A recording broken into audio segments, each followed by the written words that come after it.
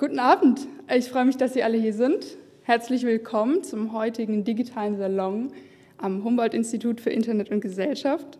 Mein Name ist Irina Kühnlein. Ich bin studentische Mitarbeiterin in Public Interest AI und ich darf heute das Intro übernehmen. Ich dachte, es würde heute regnen. Also streng genommen habe nicht ich das gedacht, sondern ein Blick auf mein Handy und die Wettervorhersage hat mir das in den Kopf gesetzt. Vor einer Woche stand da noch Schauer, 11 Grad und dann gestern bedeckt, 16 Grad und heute stehe ich hier und bin positiv überrascht. Ich frage mich auch, ob wir als Gesellschaft mehr über Wahrscheinlichkeit wissen und reden müssten.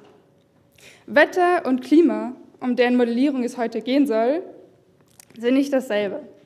Das Wetter ist so diese wahrnehmbare Momentaufnahme von dem, was gerade in der Atmosphäre stattfindet.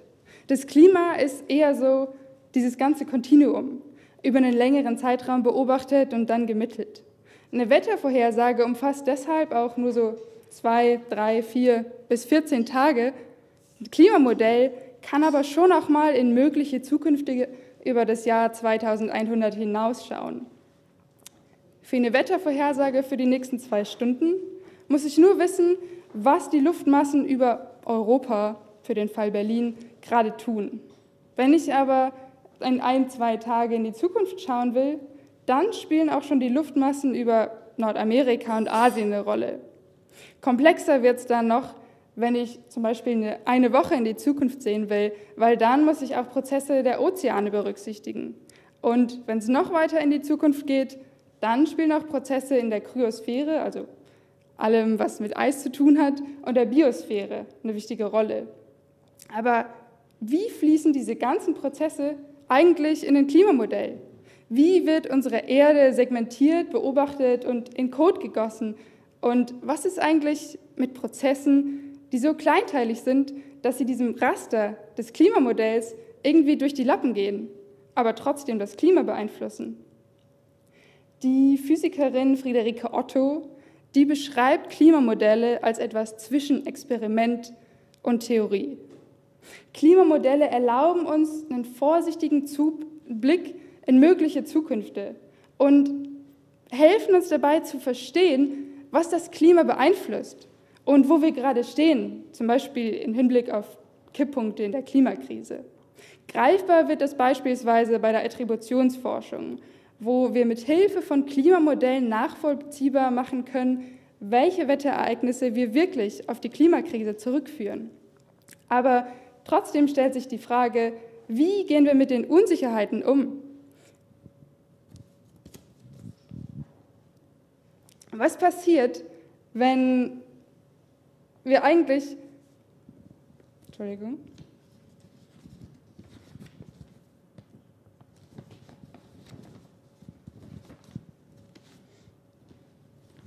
Warum stimmen nicht alle diese Projektionen miteinander überein? Und woher wissen wir dann eigentlich, dass und wo Klimamodelle richtig liegen? Und wie versuchen WissenschaftlerInnen mit den einhergehenden Unsicherheiten umzugehen? Damit sind wir eigentlich auch beim Thema des heutigen digitalen Salons. Quanten statt Quaken, also Hochleistungsrechner statt Wetterfrösche. Klimamodelle umfassen laut dem Geophysiker Michael Böttinger vom Deutschen Klimarechenzentrum auch mal ungefähr eine Million Zeilen Code und können trotzdem noch nicht alles abbilden. Das laufen zu lassen ist auch gar keine schnelle Angelegenheit. Das kann schon mal so ein halbes Jahr dauern. Rechenleistung spielt also durchaus eine Rolle. Und wie können diese Prognosen deshalb schneller und besser werden? Viel Hoffnung wird da beispielsweise auf Quantencomputer gesetzt und dazu gibt es auch schon erste Projekte und Forschungsgruppen. Henning Weber vom DWD in Offenbach sagt, dass die Rechenleistung von der ersten mit Computern berechneten Wettervorhersage des DWD von 1966 bis zu heute um den Faktor eine Milliarde gestiegen ist. Jeder Sprung in der Rechenleistung schlägt sich auch in den Prognosen nieder. Beispielsweise ist die Wetterprognose für vier Tage heute so zuverlässig wie die 24-Stunden-Prognose vor 30 Jahren. Wie sieht der Trend da für die Zukunft aus? Aber nicht nur eine gesteigerte Rechenleistung, auch KI-Anwendungen spielen eine Rolle. Wo können diese hilfreich zum Einsatz kommen? Und was für neue Erkenntnisse erwarten wir uns eigentlich davon, wenn Klimamodelle und Wettervorhersagen immer besser werden, wo wir jetzt auch schon vieles wissen und verstanden haben? Das waren viele Fragen, viele Anfänge. Ich bin gespannt und denke, dass einige davon vielleicht beantwortet werden. Ich freue mich jetzt auf eine spannende Diskussion. Vielen Dank dir, Irina. Schönen guten Abend, herzlich willkommen hier vor Ort und im Stream. Ich bin Katja Weber und mal gucken, ob wir ein paar Antworten rausbekommen. Ich hatte mir eigentlich äh, eine Anmod aufgeschrieben, dann ging ich hier vorhin durchs HEG diesen Gang lang und las, was da wahrscheinlich schon seit Jahren an der Wand steht, aber heute fiel es mir ins Auge, wahrscheinlich weil mein Hirn irgendwie wahrnahm, kannst du hier heute Abend gebrauchen. Der Mensch beurteilt die Dinge lange nicht so sehr nach dem, was sie wirklich sind, als nach der Art, wie er sie denkt und sie in seinen Ideengang einspeist. Alexander steht drunter, also ich vermute mal hier der Namensgeber des Hauses, ist gemeint und ich dachte, das passt nicht schlecht, um in diese Runde einzusteigen. Eigentlich wollte ich zu Beginn erinnern an die Flutkatastrophe im Ahrtal im Sommer 2021. 136 Tote gab es allein da. Wenn ich das noch richtig weiß, wurde, glaube ich, die 136. Person auch erst Ende des vergangenen Jahres identifiziert. Deutschlandweit, es gab natürlich auch Flutkatastrophen und Unwetter in anderen Teilen Deutschlands. Deutschlandweit gibt es mehr als 180 Tote zu beklagen. Und Irina hat gerade über Modelle gesprochen. Ähm, natürlich gibt es entsprechende Prognosen, die anhand von Modellen erstellt werden seit Jahrzehnten und ob und wie uns diese Modelle helfen beim Anpassen an die Erderhitzung, beim Ergreifen der richtigen Maßnahmen. Das will ich jetzt mit drei Sachverständigen bereden. Und wie immer gilt, stellt gern eure Fragen. Ich denke, ihr habt welche mitgebracht, die werdet ihr hier los.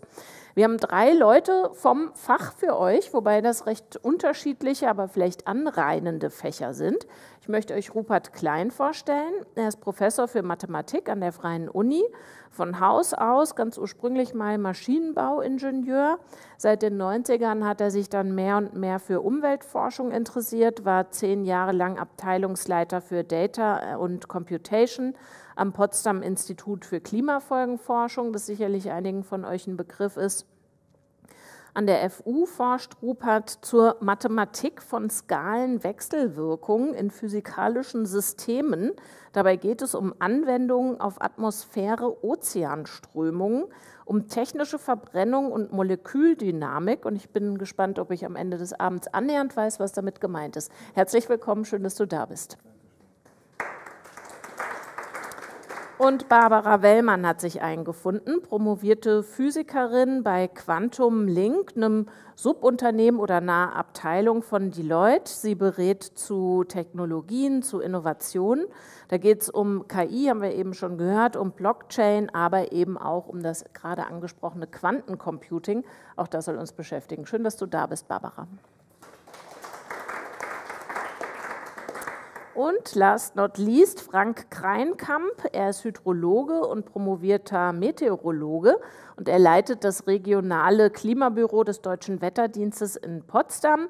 Der Deutsche Wetterdienst ist uns allen irgendwie, denke ich, ein Begriff. Ähm, worum handelt es sich bei dieser Organisation, die uns zum Beispiel sagt, wie das Wetter heute wird oder wie es morgen sein wird? Es handelt sich um eine Bundesoberbehörde mit Hauptsitz im schönen Offenbach und sie untersteht dem Ministerium für Digitales und Verkehr. Herzlich willkommen, Frank. So, mal gucken, was der DWD ausgegeben hat für morgen. Ich zitiere, am grünen Donnerstag wolkig bis stark bewölkt. Zunächst im Norden noch Regen, auch im Westen bereits am Vormittag neuer schauerartiger Regen. Im Laufe des Tages über die Mitte hinweg ostwärts ausweitend, im Osten allerdings nur wenig Niederschlag. Das scheint unumstritten zu sein, kann man äh, abrufen. Welche Prognosen machen denn dir und deiner Zunft mehr Schwierigkeiten? Sind im Wesentlichen die Prognosen, die entweder mehr Tage in die Zukunft sind, also sagen wir mal so drei, vier Tage, ab da wird es dann immer schwieriger, oder aber das, was wir nicht Prognose, sondern Projektion dann die nächsten Monate, Jahre und Jahrzehnte. Da haben wir dann deutlich mehr Schwierigkeiten. Ah, okay, das ist schon vielleicht schon mal die erste wichtige Unterscheidung. Eine Prognose bezieht sich immer auf, äh, einige von euch wollen vielleicht noch in Osterurlaub, was packe ich in mein Köfferchen in den nächsten Tagen? Und eine Projektion ist eher das, was Versicherungen interessiert. Ja, nicht nur. Also ähm, von, die Wissenschaftler sagen, ich habe eine Anfangsbedingung, also ich, ich habe den Zustand der Atmosphäre und von dort aus modelliere ich los. Und bei vielen der Dinge, die ich für die nächsten Monate und Jahre habe, ist dann wichtig, welche Randbedingungen ich habe. Also gerade bei den Klimaprojektionen muss ich wissen, wie handelt der Mensch, also wie viel Treibhausgase äh, pustet er in der Atmosphäre und solche Dinge. Mhm. Vielleicht noch mal ganz simpel, welche Daten werden denn gebraucht, um das Wetter vorauszusagen, zu prognostizieren und welche werden für eine Projektion gebraucht? Also der Startpunkt für eine Wettervorhersage ist der Ist-Zustand der Atmosphäre. Also sprich, wir äh, gucken am Boden nach, wir haben dort Stationen, wir gucken in der Atmosphäre nach mit Flugzeugen, mit Radiosonden, aber auch mit Satelliten, aber auch mit Bojen auf den Meeren, die dann auch ins Meer eintauchen. Und wollen bestmöglich den Startzustand haben. Also was ist in dem Meer, was ist in der Atmosphäre gerade los? Wenn ich bei den Klimaprojektionen reinschaue, dann ist es eher, brauche ich die Daten, um ein Modell zu entwickeln, um dieses Modell bestmöglich so zu entwickeln, dass ich ein, die Erde reproduzieren kann oder die groben Rahmenbedingungen reproduzieren kann.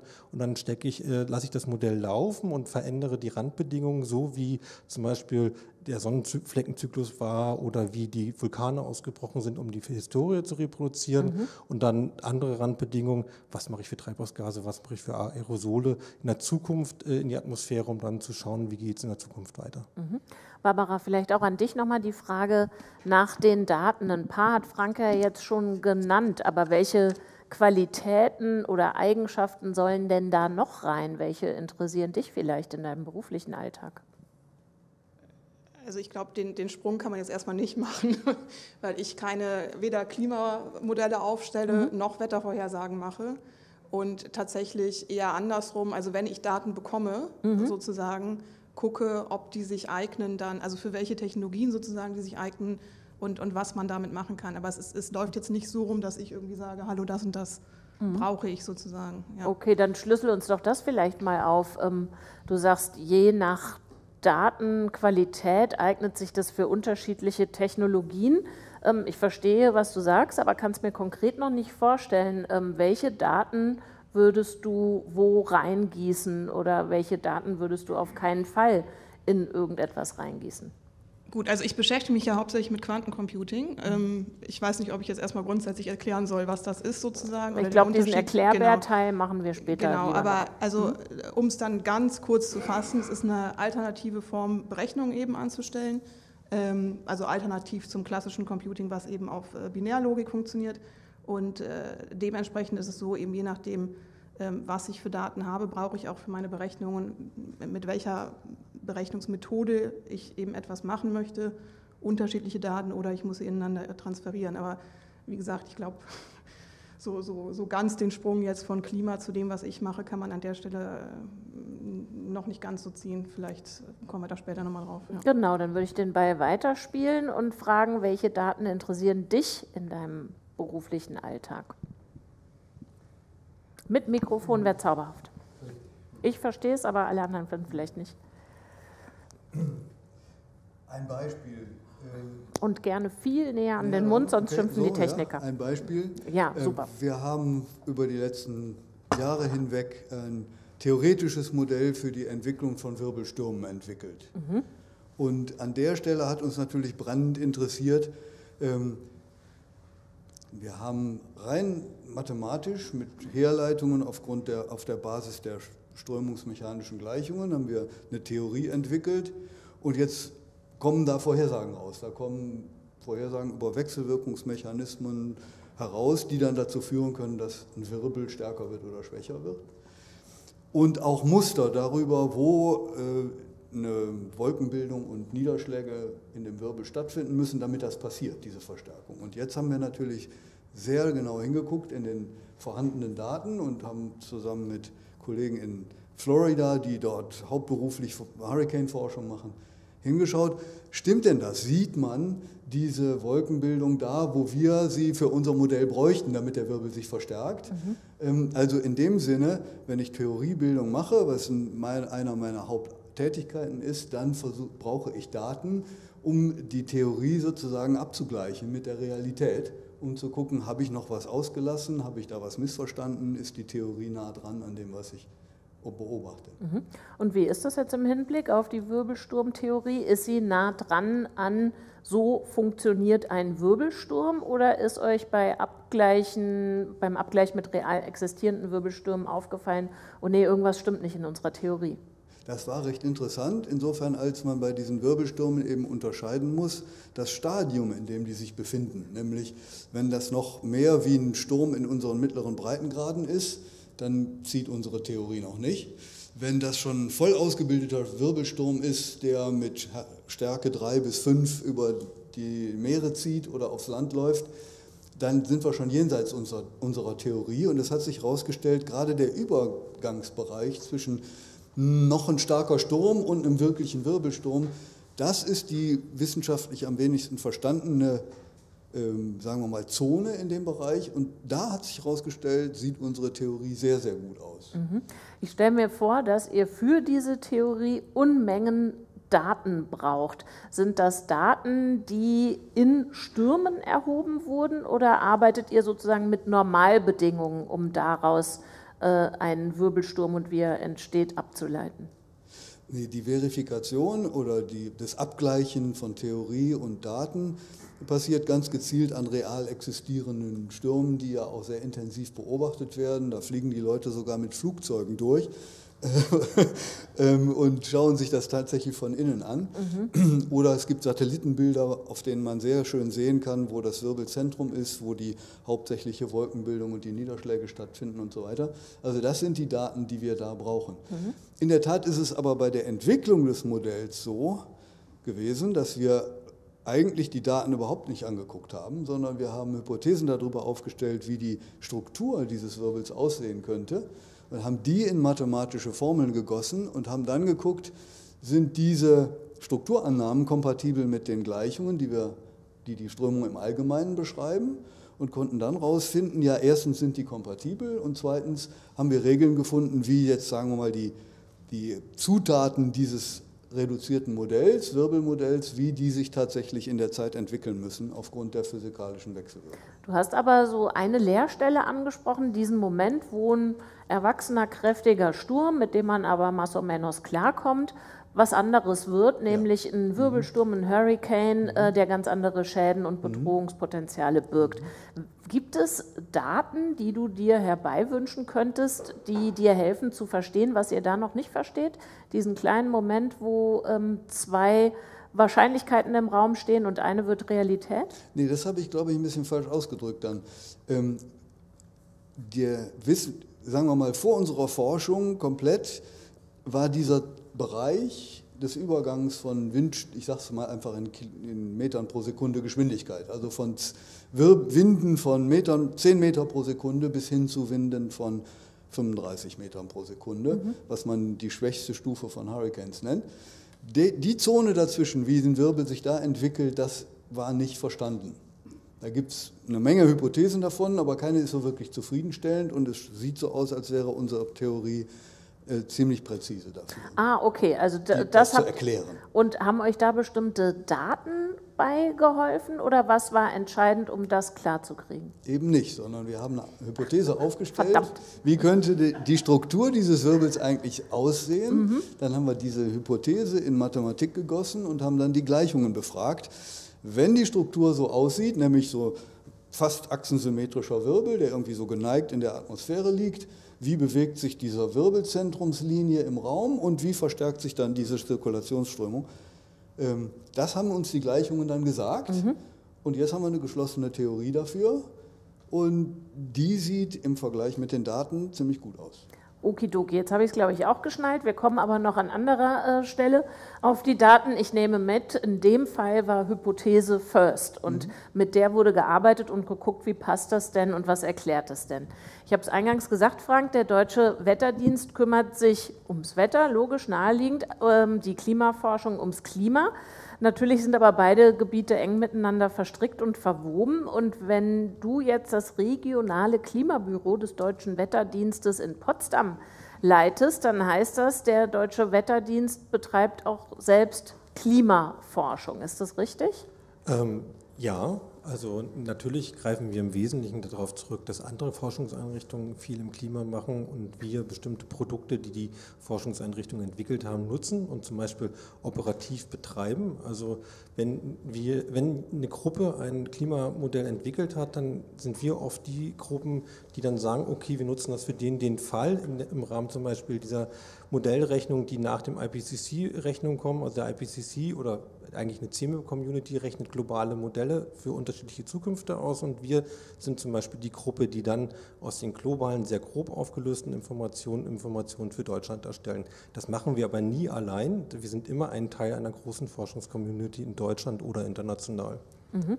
Jetzt haben wir oft gehört, dass der menschliche Eingriff ins Klima dazu führt, dass auch Wettervorhersagen schwieriger zu treffen sind, vor allen Dingen, wenn es ins Lokale oder Regionale meinetwegen geht. Woran liegt das? Was ist der Zusammenhang dahinter? Also, dass sie wirklich schwieriger werden, würde ich jetzt sozusagen vorsichtig sein. Also, weil das, was wir in den Wettervorhersagemodellen machen, sind eben, dass wir von den Forschungsleuten entwickelte sozusagen Modelle haben, die mit einem Startzeitpunkt äh, betreiben und dann schauen, wie es die nächsten Tage wird. Ähm, noch befinden wir uns im Wesentlichen in dem, was die Physik ziemlich gut beschreiben kann. Daher haben wir selten Probleme. Es gibt schon Probleme, wo man mal in komplett neue Zustände kommt, aber das ist eigentlich auf, äh, auf der Erde nur ganz, ganz selten mal dabei. Weil ähm, das, was wir hier in Europa an Wetter haben, und wenn man das global sieht, ist das meiste sozusagen wir irgendwo mittendrin. Mhm. Ähm, die Schwierigkeit ist eher, dass dann die Nutzenden von uns eine sehr, sehr präzise Vorhersage haben wollen. Die wollen für morgen wissen, ob da 157 oder 163 Liter pro Quadratmeter runterregnet. Und das kann man mit Wettervorhersagemodellen nicht machen. Man kann sagen, es wird sehr viel regnen oder es scheint sehr viel Sonne, aber ob das nun gerade hier runterfällt oder am Bahnhof Friedrichstraße oder am Alexanderplatz, mhm. das nicht. Bitteschön. Ich habe mir da so ein Beispiel ausgedacht, genau zu der Frage, warum das so schwer ist, wo, zu sagen, wo eigentlich der Niederschlag fällt. Wenn man sich vorstellt, wir stellen einen Topf mit Wasser auf den Herd und schalten den an und jetzt wissen wir, dann fängt da die, das Wasser drin an zu strömen, wird langsam heißer und heißer und jetzt fängt es an zu kochen. Ähm, die, das, was man gut kann, ist dieses Durchmischen beschreiben und wie das dann langsam wärmer wird und das Richtung Kochen geht.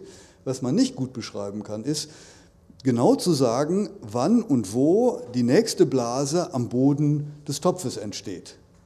Das kann man sich vorstellen, dass das nicht möglich ist, weil das hängt von den Details der Bodenmikrophysik da ab, mhm. wo das jetzt genau als nächstes passiert und von ganz vielen anderen Einflüssen. Und das ungefähr ist auch, was Regen ausmacht. Das nämlich lokal, man nennt das lokale Instabilitäten, die können hier mal losbrechen, da mal losbrechen, abhängig von ganz, ganz kleinen Details. Das ist, wo der, Schmet, der berühmte Schmetterling zuschlägt. Mhm. Das kriegt man nur schwer hin. Aber die Gesamtentwicklung eines Sturms, weil im Wesentlichen der Mittelwert über all die Effekte ist, kann man ziemlich gut. Das heißt, Einverstanden? Wir haben, wir haben, wir haben kein großes Problem mit Unsicherheiten? Ähm, das ist die Frage, was Sie als Unsicherheit definieren. In der Wettervorhersage äh, wissen wir, dass wir, umso dichter wir an dem Ereignis dran sind, relativ gut vorhersagen können. Abgesehen davon, ob das Gewitter nun links oder rechts von uns vorbeizieht und uns doch trifft. Ähm, das wird sehr viel schwieriger, umso weiter ich in die Zukunft schaue. Ähm, weil da reichen schon ganz kleine Fehler in den Anfangsbedingungen und ich bekomme eine etwas andere Zukunft raus. Was, was, sind das für Fehler? Also wo äh, liegen die? Also ich nehme ein Beispiel, ob ich nun 10,45 Grad gemessen habe oder, oder 10,35 äh, Grad. Das ist weit unterhalb der Messgenauigkeit von den Systemen, die wir haben. Und wir messen ja nur am Boden und in der Atmosphäre weht unser, äh, unsere Radiosonde durch oder die äh, Satelliten geben uns eine Information relativ grob. Aber diese kleinen Unterschiede reichen aus, um in ein, zwei Tagen ziemlich deutliche Unterschiede in der Vorhersage zu produzieren. Und deswegen äh, sind wir ganz dankbar, dass wir sehr gute Rechner haben, äh, die auch alle paar Jahre sozusagen erneuert werden, weil wir rechnen nicht mehr eine Vorhersage, sondern wir rechnen dann teilweise mehr. Und nicht nur wir rechnen, sondern viele Wetterdienste in der Welt rechnen das. Und mit den kleinen Unterschieden können wir dann einen Korridor abschätzen, wo in etwa das lang geht. Und das ist bei den Klimaprojektionen das Gleiche. Es gibt nicht ein Klimamodell in der Welt, sondern es gibt ganz viele und die rechnen nicht einmal, sondern sehr oft. Stichwort Modell oder Modellierung, da würde ich jetzt gerne noch mal hingucken mit dir, Barbara. Ich wage mal die These, dass viele von uns dieses Modellieren eigentlich erst in der Pandemie so begriffen haben, wo das ja ein sehr gebräuchliches Wort war, in den Nachrichten häufig vorkam, ähm, Physikerinnen äh, viel zu hören waren und so weiter, obwohl wir diese Art der Modellierung, also das Prinzip ja in der Klimaforschung schon sehr viel länger haben. Vielleicht kannst du noch mal beschreiben, ähm, ja so quasi auf Partygesprächsniveau, was macht eine Modellierung wie? Wiederum, ich mache keine Modellierung. Ich glaube, das wäre tatsächlich eher eine Frage für dich, Frank. Also, aber Barbara, ich will dich ja hier auch nicht sitzen ja, lassen, bis wir zum Quantencomputing okay, kommen. Äh, wenn wir erst den Fachmann zu den Modellierungen sprechen lassen, da ich tatsächlich keine Modellierungen mache. Okay. Also es gibt, gibt hier zwei. Also ich glaube, der in der theoretischen Modellierung viel weiter ist, ist der Rupert als ich. Äh, aber im Modell versuchen wir zu beschreiben, den, äh, sozusagen die Welt mit sehr vereinfachten Mitteln. Und das ist teilweise sehr grob. Also ich nehme ein Klimamodell, das ist aufgelöst mit 100 Kilometern. Und wenn ich jetzt einen Hurricane modellieren will, dann bin ich viel, viel feiner, weil die Strukturen oder die Prozesse sonst nicht funktionieren. Okay, vielleicht magst du noch ergänzen, aber sag bitte nicht, ähm, das kann jetzt Katja noch viel besser erklären, das stimmt nämlich definitiv nicht. Nee, nee, nee da nehme ich dann schon Stellung dazu. Ähm, wenn man mit der Wettervorhersage anfängt, da steht ganz vorne natürlich das, was in der Atmosphäre passiert. Die kontinuumsmechanischen Gleichungen, die Strömungen beschreiben, die kennen wir sehr gut.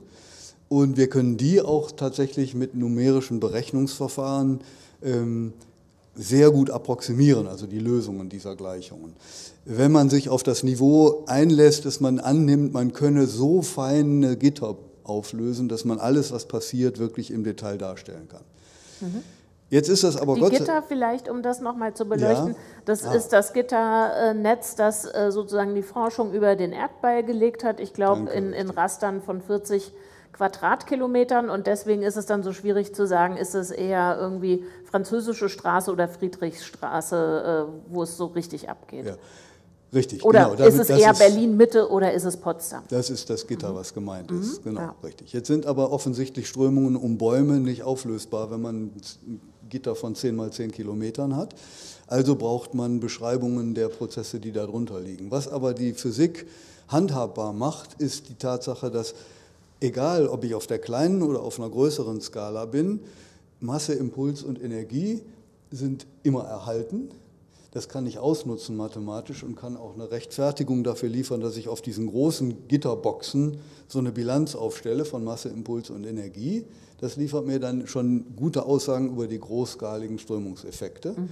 Alles, was darunter liegt und kleinprozessig ist, das ich nicht auflösen kann, das kann man trotzdem hoffen, an der Stelle kommen wir in die Unsicherheiten, die in dieser Modellierung drin liegen, kann man hoffen, mit intelligenten physikalischen Teilmodellen zu beschreiben, die sagen, wenn zum Beispiel der Wind aus einer bestimmten Richtung weht und eine bestimmte Scherung hat, also von Ost nach West schneller wird oder so, ähm, unter gewissen Außenbedingungen der, äh, um die Gitterbox herum passiert da drin mit hoher Wahrscheinlichkeit dieser und jener Turbulenzprozess oder eine Instabilität oder sowas. Und dann kann man deren Nettoeffekt auf die Box hochrechnen. Mhm. Das ist eine Kunst, das ist, muss man sagen, da, da, geht jede Menge physikalische Intuition rein und intelligentes Ausrechnen von dem, was noch ausrechenbar ist. Und an der Stelle sehe ich übrigens auch die große Chance für datenbasierte Modellierung, um uns da weiterzuhelfen, weil man dort hergehen kann und sagen, ich tue jetzt mal, rechne jetzt mal im Detail, was in einer Box passiert, wenn ich außen mit einem gegebenen Strömungsfeld antreibe und dann nehme ich die datenbasierte Modellierung und kondensiere das in einen Eingabe-Antwort-Mechanismus. Der sagt, wenn das außen passiert, gibt es diesen Nettoeffekt für die Gesamtbox. Mhm. Da, das, ja. Und bevor wir zum Thema Zukunftsmusik kommen, ähm, wie groß ist die Rechenleistung, die hinter den herkömmlichen Modellierungen steckt? Oh, da weißt du, Frank, vielleicht mehr als ich. Naja, es sind auf jeden Fall alles große Rechenzentren und äh, das, was wir in Rechenzentren haben, ist sozusagen das Kurzende Militär. Also sprich, äh, was in Deutschland an Klimarechenzentrumsleistung ist, ist gewaltig groß, äh, wird oft dadurch ausgebremst, wie viel Strom wir an den, an den jeweiligen Ort bekommen. Also in, es gibt in Hamburg das Deutsche Klimarechenzentrum, da gibt es Leitungen hin und wenn die Leitungen glühen, dann wissen wir, dass äh, der Rechner darf nicht größer werden. Auf dem Telegrafenberg gibt es das System auch mit ein paar mehr Leitungen, aber es ist nicht wirklich größer. Ähm, und das ist eigentlich immer das Limit. Also die sind riesige Rechenzentren, das Potsdam Institut für Klimafolgenforschung heizt sein Gebäude damit. Wir machen das in Offenbach auch, weil die, sozusagen die Abwärme so ist, dass man ein ganzes Gebäude damit heizen kann. Mhm. Und das sind, äh, wenn wir einen neuen Rechner hinstellen oder das Klimarechenzentrum einen Rechner hinstellt, dann sind wir bei dieser Top-Liste der Top 500 immer ziemlich weit vorne im zweistelligen Bereich. Mhm. Also man könnte sagen, äh, um mir noch einen anderen Vergleich aufzubringen, es in so einem Rechenzentrum sind in der Größenordnung von Zehntausenden von einzelnen Rechenleistungen von einem PC zusammengeschaltet und interagieren gleichzeitig, rechnen sozusagen gleichzeitig. Und um jetzt noch einen schönen Begriff in die Runde zu werfen, Attributionsforschung, auch ein Begriff, den wir häufig hören, der besagt was? Ich vermute mal Frank. Ja, ähm, äh, der Punkt ist, ähm, bis vor wenigen Jahren, sagen wir bis ins Jahr 2003, hat die Klimaforschung immer gesagt, also bevor ich was dazu sagen kann, ob der Klimawandel da irgendwie was verändert hat, äh, müssen wir 30 Jahre abwarten. Und dann kam jemand von der Universität Oxford und hat gesagt, ja, aber eigentlich haben wir ein paar Grundlagendaten dafür schon. Ähm, und es ist ein Konzept entwickelt worden, das sagt, ich kann ja in den Klimamodellen reinschauen und mir eine Welt anschauen, mit dem Menschen, so wie es jetzt ist, und eine äh, Welt anschauen, in der der Mensch nicht da ist. Also entweder aus der Vergangenheit bis heute gerechnet, mhm. ohne den kompletten menschlichen Einfluss, oder ich nehme eine Modellrechnung aus dem Zeitraum 1850. Und dann kann ich das beides miteinander vergleichen. Und dann kann ich schauen, äh, ist so ein Ereignis früher häufiger, jetzt häufiger, früher intensiver, jetzt intensiver oder es hat sich gar nichts verändert. Ich muss aber gleich dazu sagen, wir reden dort über extrem großräumige Ereignisse, ähm, weil die Modelle, wir reden ja über Klimamodelle, eine Auflösung haben von sowas wie 100 Kilometer, wenn wir Glück haben, den äh, sozusagen den äh, regionalen Modellen sowas wie 12 Kilometer und dann kann ich nicht eine so eine Gitterbox nehmen, sondern ich muss ganz viele nehmen. Das heißt, wenn wir zum Beispiel Attributionsanalysen machen, wie im Ahrtal, haben wir uns nicht das Ahrtal angeguckt, sondern haben uns eine Region angeguckt, die war viel, viel größer als das Einzugsgebiet des Ahr, der, der, der, der Ahr. Und dann, wenn man ganz viele Modelle nimmt und dann kommt das Wort Unsicherheiten mit rein, bekommt man etwas andere Antworten. Die Tendenz ist bei allen sehr ähnlich, aber ich bekomme nicht raus sieben, sondern ich bekomme dann so einen Korridor raus, Faktor 1,2 bis 9 und dann muss man das politisch übersetzen oder zumindest die, auch für die Bevölkerung übersetzen. Und das ist dann immer der spannende Teil und das ist auch der Teil, in dem wir uns, ich sage jetzt mal so hart, versuchen, weil der Spruch, der da vorne steht, ist genau der richtige. Äh, was wir in unserem Kopf sozusagen uns als Fantasie im Hintergrund haben, das bestimmt das, wie ich es verstehe oder mhm. verstehen möchte. Mhm. Hm, das klingt nach einer gewaltigen, also noch mal größeren Rechenleistung, die für Attributionsstudien ähm, nötig ist, weil da äh, ein angenommener Zustand minus Mensch mit dem, ähm, was wir bislang so fabriziert haben, abgeglichen wird, oder? Äh, nein. Nein? Okay, äh, oder eigentlich falsch. sozusagen in, in Jein oder ja, das Wort andersrum ist richtig. ähm, wir rechnen zu dem Zeitpunkt nicht. Das können wir gar nicht sondern wir äh, drehen uns um und sagen, Klima-Community, ihr habt doch riesige Datenberge produziert. Das heißt, wir greifen auf die Datenberge zu, die haben mhm. wir meistens schon, oder auch die anderen Gruppen, die das machen, haben diese Datenberge schon und schauen uns das für dieses Ereignis in der Region an. Mhm. Also das rechnen zu lassen, das dauert Monate, das dauert Jahre, also das könnten wir nie machen. Es gibt eine Gruppe, die ein bestimmtes Modell hat ein Weilchen laufen lassen. Das war dann aber so, was vielleicht viele kennen, SETI-Atom. Äh, ich weiß nicht, ob das SETI-Atom ein Begriff ist. Da wurde nach außerirdischer sozusagen Informationen im All in Geräuschen gesucht und es wurde ein Programm geschrieben und dieses Programm hat äh, das, was man von da draußen aufgenommen hat, auf irgendwelche Rechner, die sich dafür angeboten haben, von Privatleuten kopiert, also wurde dorthin kopiert und dann wurde da was gerechnet. Und das Modell in der Attributionsforschung, das Vergleichbares gemacht hat, nannte sich Weather at Home. Das heißt, es war ein ganz kleines Teil eines äh, Klimamodells, was auf ganz vielen Rechnern zu Hause gerechnet hat, wenn die gerade sozusagen nichts zu tun hatten. Und da hat man das mitgemacht. Das reicht aber auch nie. Also wir greifen eigentlich immer zurück auf die Klimamodelle, äh, die Daten, die da sind. Barbara, jetzt gucke ich nochmal, ob ich dich ins Boot reinbekomme. Brauchen wir bessere Klimamodelle? Oder stehen wir ganz gut da mit dem, was die beiden Herren entwickelt haben? Ähm, also wenn ich das so höre, würde ich sagen, wir brauchen, oder es wäre natürlich vorteilhaft, wenn wir bessere Klimamodelle hätten. Klar. Okay, da so. gibt es auch Daumen hoch, hoch von da hinten. Was wäre denn an Aber. denen besser? Also in welchem Bereich wäre denn qualitativ etwas zu verbessern? Oh, das ist jetzt aber leider schon wieder eine Frage.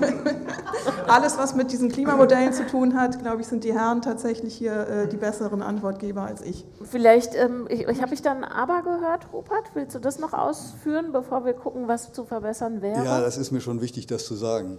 Ähm, in der im Auftakt oder in der Ankündigung dieser Veranstaltung und oft in der Presse und so weiter wird ja immer wieder davon gesprochen, dass die Klimaforschung ist so unsicher, da stand sogar schwammig im, im Text und so weiter. Und ich würde gerne einfach mal der, den Stab brechen für die Klimaforschung und die Wettervorhersage. Ich bin ja Ingenieur von Hause aus und im Ingenieurwesen habe ich die Möglichkeit, das Objekt meiner, meines Studiums zu verkleinern, im Labor zu untersuchen und dort äh, dann ein Wechselspiel zu machen zwischen Experiment und Theorie und Computerberechnung und die alle so lange zu iterieren, bis das, ich das wirklich das Modell im Griff habe. Die Erde können wir nicht in Labor verkleinern. Das heißt, wir können eigentlich mit der Erde nur einmal vorwärts rechnen und die beobachten. Und deswegen ist die Computerberechnerei erstens per se schon mal auf viel wackeligeren Füßen, weil wir diese Daten nicht zur Verfügung haben, mit denen wir einfach das Gesamtsystem abtasten können, experimentell. Ähm, und zweitens ist die, das Erdsystem natürlich so unglaublich viel komplexer als alles, was man im Ingenieurwesen oder normalerweise in Physik, Chemie, Biologie anguckt. Das ist einfach viele, viele Größenordnungen komplexer. Und zu sagen, das sollen wir jetzt präzise vorhersagen, wie, ich sag mal, äh, den Flug eines Dartpfeils zur Scheibe, ähm, ist, ich sag mal, gelinde gesagt, ungerecht. Mhm. Was da aber schon geleistet worden ist, ist seit inzwischen fast 50 Jahren, rechnen die Modelle konsistent Trends vor, die sich, die nicht viel geändert haben, die, die Balken werden ein bisschen geringer, aber die Vorhersage bleibt. Und das, die Detailgetreue oder die Detailauflösung dessen, was vorher gesagt hat, wird auch immer besser. Und man kann ja jetzt zurückgehen und die Daten der letzten 50 Jahre angucken und schauen, wie gut waren die Modelle denn damals eigentlich schon. Und wenn man das tut, stellt man fest, klar, es gibt immer dieses Fenster, wo wir nicht wissen, wie die Menschheit eigentlich agiert und wie viel CO2 ausgestoßen wird.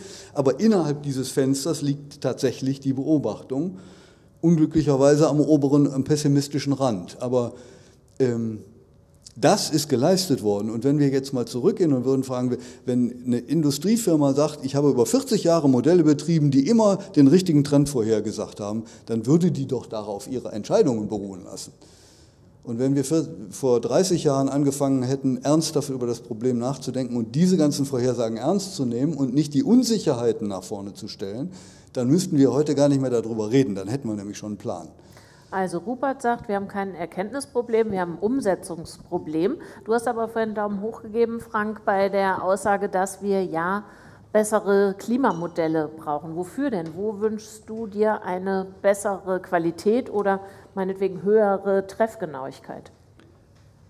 Wenn wir mit, unseren, äh, mit den Personen reden, die von uns Daten haben wollen, dann sind die Wünsche immer ziemlich ausgeprägt. Also so von wegen, äh, ich möchte gern für meine Haustür, für das, den Blog und so weiter wissen, wie sich der Trend entwickelt. Oder ich möchte, nehmen wir mal die Forstleute, für mein Waldstückchen was wissen. Oder in der Wettervorhersage, ähm, ich möchte vielleicht doch besser wissen, wo so bestimmte Dinge auftreten können. Und da sind wir dann schon in dem Bereich angekommen, also bei Klimamodellen, wir wissen, dass wir bestimmte Dinge nicht gut können. Wir wissen, dass wir das Prinzip sehr gut können, also das, die Richtung ist vollkommen eindeutig. Aber wir würden gern viel, viel feiner aufgelöst rechnen, um bestimmte Prozesse besser verstehen zu können, zum Beispiel bestimmte Trends, zum Beispiel bei Hurricanes oder bei anderen Dingen. Und da kommen wir dann genau bei Quantencomputing oder bei allen drum und dran an, weil äh, mit den Rechnern, die wir jetzt haben, sind wir irgendwann am Limit angekommen, was eigentlich noch machbar ist. Und mit dem, wo die Forschung gern hin möchte, nämlich nicht 100 Kilometer aufgelöst, sondern Kilometer aufgelöst global in der Atmosphäre und im Boden und dann noch ganz viele chemische Prozesse und Pflanzen und alles drum und dran. da sind wir dann irgendwann bei dem Punkt angekommen, was mit der konventionellen Rechentechnik wahrscheinlich irgendwann nicht mehr so gut funktionieren wird. Und da ist dann doch die moderne andere Technik da. Und vielleicht einen zweiten Punkt. Ähm, wir sind gerade, sage ich jetzt mal so, wir schauen als Wetterdienst oder als die vielen Wetterdienste in Europa gerade zu, dass die künstliche Intelligenz, die Modelle ganz viel plötzlich in den letzten Jahren gelernt haben und äh, die Vorhersagen von solchen Modellen mittlerweile ziemlich gut das reproduzieren können für die nächsten Tage, das, was bei uns die großen Rechenzentren machen. Und ähm, da gucken wir auch gerade zu und versuchen das zu verstehen und versuchen uns auch daran einzuarbeiten, weil wenn ich kein großes Rechenzentrum mehr dafür brauche, sondern es vielleicht mit anderen Dingen einfacher machen kann, warum nicht? Das ist wahnsinnig teuer, was wir dort betreiben. Mhm. Okay, und jetzt aber ernsthaft Spot auf Barbara und auf Quantencomputing. Ich zitiere mal zu meiner und vielleicht auch eurer Entlastung den Physiker und Nobelpreisträger Richard Feynman. Niemand versteht Quantenmechanik. Trotzdem die Frage, was ist und wie funktioniert ein Quantenrechner? Also erstmal, das ist natürlich ein ganz tolles Zitat äh, von dem Herrn Feynman, was immer gerne gesagt wird. Ähm, nur weil wir das nicht verstehen, heißt es nicht, dass wir das nicht benutzen können. Das sei mal ganz vorneweg gesagt. Es gibt sehr viele physikalische Prinzipien, die man nicht bis ins kleinste Detail versteht und die man trotzdem einsetzen kann, um ja, Maschinenberechnungen, äh, was auch immer anzustellen. Und ähm, auch bei den quantenmechanischen Prinzipien, also ein Quantencomputer ist ganz allgemein gesagt ein Computer, der Berechnungen anstellt auf Basis von quantenmechanischen Prinzipien. Und eines dieser quantenmechanischen Prinzipien hat bestimmt auch jeder schon mal gehört, ähm, Quantenverschränkung. Ähm, das andere ist Quanten, also Superposition. Für diese Quantenverschränkung die Erkenntnis, also dass es diese Quantenverschränkung gibt und auch wie man sie bewusst manipulieren kann, gab es den Nobelpreis letztes Jahr. Ähm, das heißt, wir können, auch wenn wir sie nicht verstehen, können wir sie sehr gezielt nutzen und ja, beeinflussen und damit Berechnungen anstellen. Also man mhm. muss Dinge nicht verstehen, um sie einsetzen zu können. Die ähm, Superposition würde ich aber doch gerne noch mal hier ein bisschen erhellen, weil du gehst damit so um und hast jetzt gesagt, ist so ähm, und äh, vielleicht ja. kaufen dir das die Leute auch ab, aber womöglich ja. gibt es auch welche, die sagen, was war das noch mal genau? Ja. Es ist auch tatsächlich das dann auch noch mal, bevor ich das jetzt gleich erkläre, mhm. ähm, tatsächlich ähm, so Dinge wie Magnetismus oder sowas, weiß eigentlich auch niemand genau, was das ist. Ja? Trotzdem, man lernt davon in der Schule, man kann das anfassen sozusagen oder beobachten selbstständig. Deswegen genau das mhm. sagt jeder so, ah ja, habe ich schon mal gehört, irgendwie in der Schule gelernt, alles gut, kenne ich. Und tatsächlich gehen wir so ein bisschen davon aus, dass so Begrifflichkeiten wie Superposition, dass es auch so weit kommt. Also sobald irgendwie die, die Physiklehrer in der Schule auch anfangen, solche Begriffe zu verwenden und auch in den Physikunterricht einzubringen, wird das auch jeder einfach so wegnicken in Zukunft. Ja? Also wir werden dahin kommen. Gut, aber was ist Superposition? Ähm, da vielleicht die, die äh, dann zurückführend, was machen äh, Binärlogik, also klassische Rechner. Wir haben Bits und jedes Bit kann zu jedem Zeitpunkt äh, entweder eine 0 oder eine 1 sein. So. Und ähm, wenn ich nichts mache, also wenn ich nicht manipuliere, dann bleibt dieses Bit auch immer in diesem Zustand 0 oder 1. Ich kann weggehen, Kaffee trinken, wie auch immer, das bleibt für immer so. Ne? Und ähm, das heißt, ich kann zu jedem Zeitpunkt eindeutig sagen, was der Zustand ist. In der Superposition kann ich nicht zu jedem ähm, Zeitpunkt eindeutig sagen, was der Zustand ist. Hm? Das heißt, ähm, bei einem Quantencomputer, ähm, da ist die kleinste Einheit ein Qubit, nennt man das. Das ist eine analoge Bezeichnung zu eben diesem Bit, das heißt ein Quantumbit. Und diese Quantenbits, wenn ich die in Superposition versetze, dann kann ich eben nicht mehr zu jedem Zeitpunkt eindeutig sagen, ist das eine 0 oder 1. Dann ist das runtergebrochen mit einer gewissen Wahrscheinlichkeit eine 0 und mit einer gewissen Wahrscheinlichkeit eine 1 gleichzeitig. So. so, und das ist jetzt die Denksportaufgabe, finde ich, für den heutigen Abend. Ähm, du sagst das äh, hier in aller äh, Gelassenheit. Jetzt sind wir aber natürlich ähm, im Laufe der Digitalisierung darauf konditioniert worden oder mehr oder minder in einer nicht, äh, nicht nur was Digitalisierung betrifft, auch darüber hinaus in einer binären Kultur sozialisiert. Es ist entweder oder und es ist nicht sowohl als auch und entscheidet sich später so oder so oder anders. Kannst du das nochmal erklären, wieso du das so mit Leichtigkeit begreifen kannst? Mir fällt es ehrlich gesagt schwer. Ähm, also es ist nicht sowohl als auch. Also das ist so ein, so ein Oder es hat beide Potentialitäten. Es hat, genau, es ist genau. Es, mhm. ist so, es ist halt wahrscheinlich. Hier kommt so eine Wahrscheinlichkeitsrechnung ähm, in, ins Spiel. Ne? Also es ist nicht. Also klar, man sagt so ein bisschen umgangssprachlich, das ist das gleichzeitig, aber das ist tatsächlich nur eine nur eine, eine Umschreibung, eine Analogie sozusagen. Mhm. Das ist also äh, wirklich ist es nicht so, als könnte ein Teilchen zwei Sachen gleichzeitig sein. Das ist nicht so. Mhm. Ähm, dieses, das Beispiel, was glaube ich jeder kennt, ist dieses mit äh, Schrödingers Katze wo man einfach zu einem gewissen Zeitpunkt nicht mehr eindeutig eben sagen kann, in welchem Zustand sich etwas befindet. Ne? Also das, das äh, Beispiel ist, dass ähm, das ist ein Gedankenexperiment ähm, von Schrödinger eben gewesen. Ähm, der eine, es ist ein sehr grausames Gedankenexperiment, muss man vielleicht vorweg sagen, Triggerwarnung. Man äh, packt die Katze in eine Box, tut da einen, äh, einen radioaktiven Stoff mit rein und weiß eben, dass der irgendwann zerfällt. In dem Moment, wo es dieser Zerfall passiert, wird, ich glaube, ich weiß nicht, irgendwas wird ausgelöst, jedenfalls, dass die, ähm, dass die Katze dann stirbt. So. Und da ich nicht genau weiß, wann dieser radioaktive Zerfall passiert, ja, ist, wenn ich, solange ich nicht in die Box gucke, kann ich nicht wirklich mehr eindeutig sagen, lebt die Katze noch ja oder nein. Ne? Aber trotz, die Katze lebt ja trotzdem entweder ja oder nein. Ich kann nur nicht mehr sagen, ob es so ist. Also natürlich kann die nicht in zwei Zuständen gleichzeitig sein. Ich kann es nur nicht mehr wissen. Mhm. Okay, und wenn wir in diese Box die Klimamodellierung packen, beziehungsweise die mit Quantencomputing betreiben, was haben wir dann gewonnen? Wo kommt dann eine höhere Qualität, eine bessere Projektion raus? Ja, wir packen die Klimamodellierung nicht in eine Box. Also wir, wir nehmen die Daten und berechnen, also machen damit Dinge auf einem Quantencomputer und hoffen dadurch dann äh, schneller in dem Fall zu Ergebnissen zu kommen. Oder halt diese ganze Parallelität der Rechnung, die wir jetzt auf verschiedenen äh, on the edge, auf verschiedenen Cores, auf verschiedenen, in verschiedenen Rechenzentren machen müssen, dass wir die auf einem Quantencomputer machen müssen. Also das heißt, die, die grundsätzliche Berechnung ist eine andere, die da passiert. Wir machen aber jetzt nicht äh, verschiedene Klimamodelle in Superposition. Mhm. Ich weiß nicht, ob ihr wohl Fragen habt zum Thema. Ich denke eigentlich schon. Wenn, dann gebt mal gern ein Zeichen. Ansonsten habe ich noch etliche und sehe mit Entsetzen, dass die Zeit gar nicht mehr reicht für alle Fragen. Aber äh, euch will ich nicht abwürgen. Soll ich meine stellen? Habt ihr welche? Ah, oh, Entschuldigung, es kommt ein Mikro, dann haben alle was davon. Bitte schön. Ja, vielen Dank. Also ich hatte vorhin eine, weil ich mich gefragt habe, weil Sie erzählt haben, dass Sie erst das Modell aufgestellt haben und dann es anhand der äh, bei dem Wirbelsturm überprüft haben anhand der ähm, Stürme, ob ihr Modell funktioniert. Wären Sie jetzt anders vorgegangen, wenn Sie Quantenrechner zur Verfügung gehabt hätten?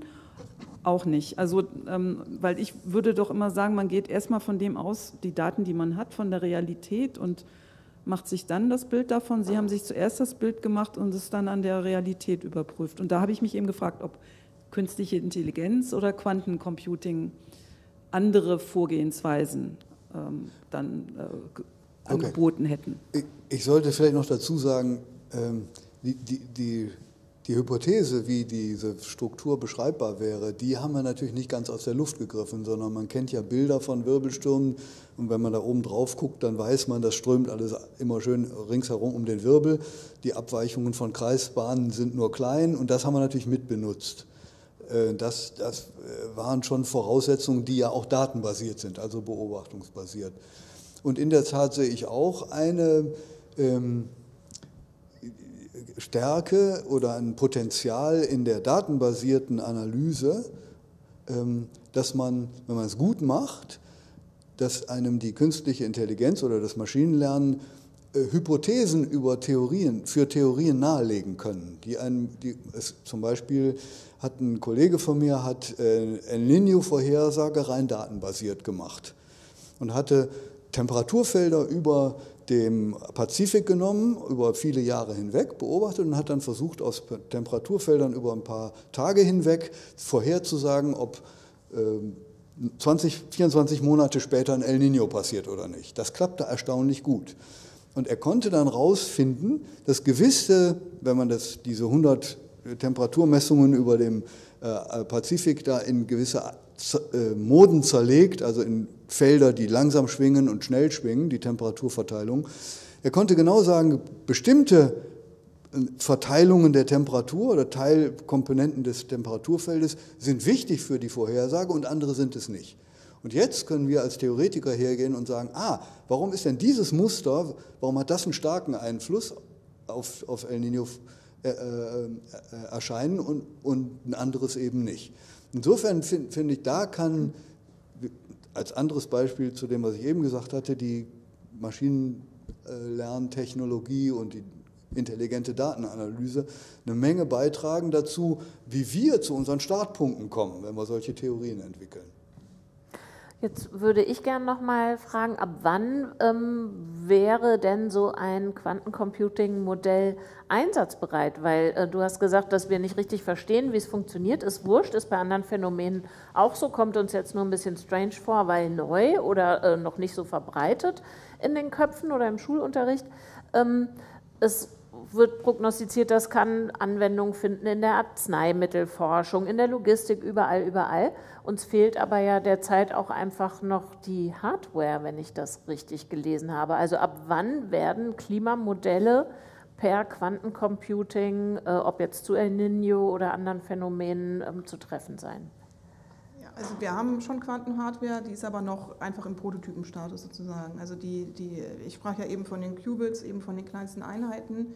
Ähm, es gibt Quantencomputer heutzutage schon, also der, in, Deutschland gibt es von IBM einen in der Nähe von Stuttgart, der hat glaube ich 127 Qubits, wenn ich jetzt richtig informiert bin. Ähm, der größte, den, den IBM jetzt vor kurzem vorgestellt hat, sind über 1000 Qubits. Um aber tatsächlich sinnvolle Berechnungen damit machen zu können, braucht man so roundabout eine Million. So. Aber natürlich, also wenn man so ein bisschen gelernt hat, wie man, wie man jetzt 1000 macht, dann die Chance, dass es so weit kommt, dass man auch auf diese Millionen kommt, ist gegeben und mhm. wird immer wahrscheinlicher. Also die, die äh, in den letzten Jahren vor allem die Weiterentwicklungen der Hardware ähm, sind, sind, so rasant gewesen, ähm, dass es tatsächlich eigentlich nur noch eine Frage der Zeit ist, bis wir eben da sind. Traust du dich mit einer Jahreszahl rauszurücken? Das sollte ich nicht tun. Machst du es trotzdem? Bitte. Frage dazu. Ja. Man liest immer wieder, dass die Quantencomputer, da wo sie jetzt schon funktionieren, gewisse Aufgaben extrem schnell lösen können, dass aber diese Aufgaben ein bisschen sich der Struktur der, der, Struktur dieser Quantencomputer, wie sie heute gebaut werden, entgegenlehnen ja. sozusagen. Im Umkehrschluss ist, wie weit ist man äh, auf dem Weg, so einem einen Quantencomputer so allgemein programmierbar zu gestalten, wie wir das mit, den, äh, mit der heutigen Hardware natürlich haben. Ja, also das, das, das zielt so ein bisschen auf die universellen Quantencomputer eben ab, genau. Also da sind wir noch nicht. Also das ist so ein bisschen dieses mit den einem, also jetzt muss man noch sagen, dass wenn man von einer Million oder die Qubits, die wir heute haben, das sind dann physikalische Qubits. Ähm, man braucht logische Qubits, um eben universelle Rechnungen zu machen. Einfach um eine Fehlerkorrektur da auch drin zu haben. Also bei, das kann man sich vorstellen, bei den Bits, also auf klassischen Computern, ähm, den Fehler, den ich machen kann, ist halt ein Bitflip. Also ich flippe von einer 0 zu einer 1 wegen Störeffekten oder umgekehrt. Und das wird äh, heutzutage gelöst, dass ich eine, eine, ein einzelnes Bit immer mit einer Dreierkombination mache und dann so ein Minority, äh, Majority Voting. Also ich codiere ein Bit eben nicht einfach nur als 1, sondern als 111. Und wenn dann zufällig irgendwo ein Bitflip passiert, ähm, habe ich trotzdem noch 110 sozusagen und dann sagt er halt, aha, da ist, das stimmt nicht mehr, dann flippe ich diese eine Null, die da passiert ist, zurück. So.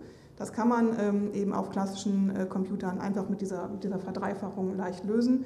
Das geht auf Quantencomputern nicht. Man braucht, um ein Qubit tatsächlich error-corrected, äh, äh, also ein logisches Qubit dann zu haben, braucht man so irgendwas zwischen, je nachdem, was man machen möchte, 9 bis 27 physikalische Qubits. Das heißt, die Anzahl der physikalischen Qubits zu den logischen Qubits sozusagen ist nochmal ein Vielfaches dessen.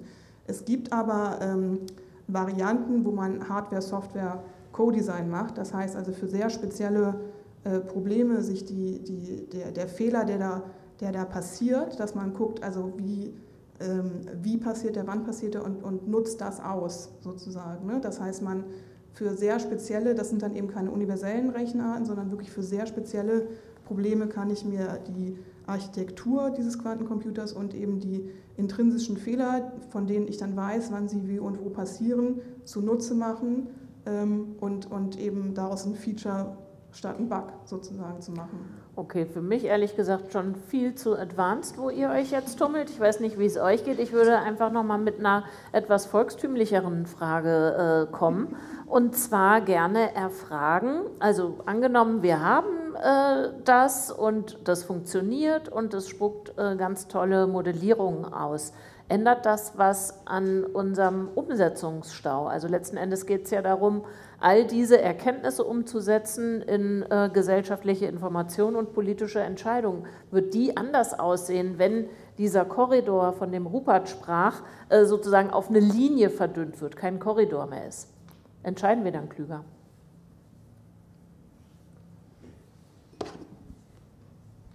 Es wäre schön, aber die Erfahrung der letzten Jahrzehnte sagt, äh, es hat, hat, nicht viel bewegt. Aber Barbara, du brauchst ja natürlich, um das Ding zu pitchen, ähm, irgendeine Vision, die damit einhergeht. Und wenn jetzt äh, schon sozusagen der Nebensitzer sagt, ja, wäre schön, glaube ich aber ernsthaft nicht dran. Wenn ich das nämlich ableite aus den Erfahrungen, die ich in den letzten Jahrzehnten gewonnen habe, dann sieht es eher nicht so aus. Was ist dann Sinn und Zweck von das Ganze? Von Quantencomputern? Mhm. Naja, also wir reden ja jetzt hier über Klimamodell. Das ist ja wirklich was, also das ist ja, also aus meiner Perspektive einfach eine sehr spezielle Anwendung, die man dann irgendwann in Zukunft hoffentlich äh, schneller lösen können wird mit Hilfe von Quantencomputern als eben heutzutage mit diesen ganzen parallelen Rechnungen auf den klassischen Rechnern. Mhm. Also wir haben zumindest eine Energieeffizienz, eine gesteigerte beim Berechnen. Eine Energie, ja, mhm. das schon. Das also, heißt, in Offenbach, der DVD wird nicht mehr äh, geheizt mit der Abwärme. Der, genau, der, mhm. der muss sich da eine Heizung einbauen oder eine Wärmepumpe im besten Fall. Ähm, was? Ist auch eine Heizung. Ja, ja gut. Ja.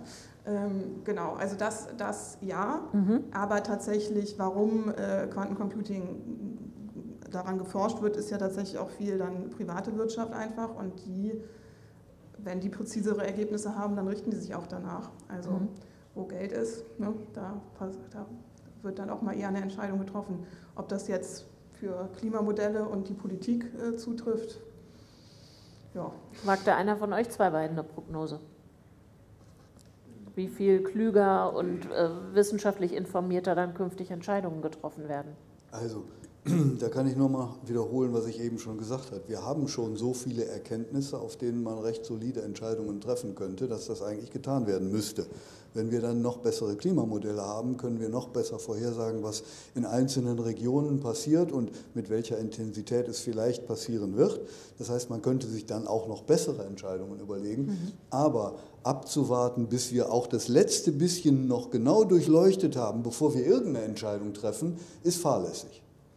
Okay. Also die Zeit ist genau jetzt, wo Entscheidungen getroffen werden müssen, weil wir wissen schon genug. Und wenn da neue Informationen reinkommen, dann bitte gerne auch berücksichtigen bei den nachfolgenden Entscheidungen. Jetzt würde ich gerne euch in der letzten Runde, das machen wir immer gerne, hier nochmal bitten, ein paar Tipps rauszuhauen, entweder zum Thema Klima oder zum Thema Quantencomputing. Ähm, ich würde, ähm, oder bei mir ist es so, ich habe zum Beispiel, als die Pandemie losging, mir nochmal Contagion angeguckt. Äh, das schien mir damals sehr gut passend zu sein. Ähm, in Sachen äh, Klima- und Klimafolgenforschung kam, glaube ich, Ende 2021 Don't Look Up raus, aber vielleicht gibt es ja Bücher, Blogs, Podcasts, Artikel, wo ihr sagt, da werdet ihr auf jeden Fall äh, schlauer, wenn ihr euch informieren wollt zu Klima und Klimaforschung oder zu Quantencomputing. Also muss nichts Fiktionales sein, kann aber. Habt ihr einen Tipp? Okay, ich, ich fange mal an. Ja, ich, ich glaube, die anderen drängeln sich gerade nicht vor. Die anderen scheinen sich nicht vorzudrängen. Ich mache Werbung für unsere eigene Veranstaltung. Wir haben tatsächlich im Moment eine Quantum Climate Challenge äh, laufen. Das machen wir bei die Leute jetzt seit, seit drei Jahren. Dieses Jahr ist es das dritte Jahr. Das machen wir zur ähm, also dieses Jahr ist das Thema Quantum Machine Learning. Ähm, wir machen Flutvorhersage. Vorhin wurde das Ahrtal irgendwo genannt. Wir sind bei der Wupper, also Nebenfluss, sozusagen, also nicht was heißt Nebenfluss, ähm, aber in der Nähe ähm, ein Fluss. Da haben wir Daten auch vom Deutschen Wetterdienst, die dann eingehen in ein Machine Learning Modell. Das ist kein Klimamodell. Es ist wirklich eine, eine sehr präzise Vorhersage an einem Fluss wie der Pegelstand am und nächsten wie Tag. Wie heißt die Veranstaltung nochmal? Quantum Climate Challenge. Okay, das nehmen wir mit und jetzt bitte ich um kurze Einlassung, so ihr noch welche habt. Oder vielleicht ist auch das Problem eurer Zunft, dass es keine populärwissenschaftlichen Formate gibt. Also ich, ich willst du zuerst? Okay. Also ein Buch, das mir gut gefallen hat, das mhm. populärwissenschaftlich ist, das ist von Rahmsdorf und Schellenhuber. Mhm.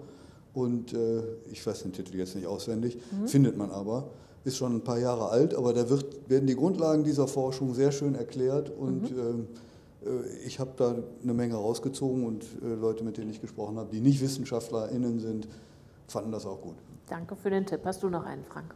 Ja, es gibt schon sozusagen äh, immer das Übersetzungsproblem. Ähm, wenn man jetzt zum Beispiel in die Attributionsforschung schauen will, da wurde vorhin schon ein Name genannt, das ist Friederike Otto, die versucht sehr intensiv gerade sozusagen dieses Thema auch den Leuten zu erklären und hat vor einigen Jahren auch ein Buch geschrieben, das nennt sich Wütendes Wetter. Das ist sehr, sehr. Was für ein Wetter? Wütendes Wetter. Mhm. Das ist ein sehr, sehr allgemeines Buch über sozusagen, was Attributionsforschung leisten kann, ist auch noch aus einer Zeit, wo bestimmte Modelle noch gar nicht da waren, wo man vielleicht Dinge anders gemacht hat, aber das Grundprinzip ist schon relativ gut erklärt.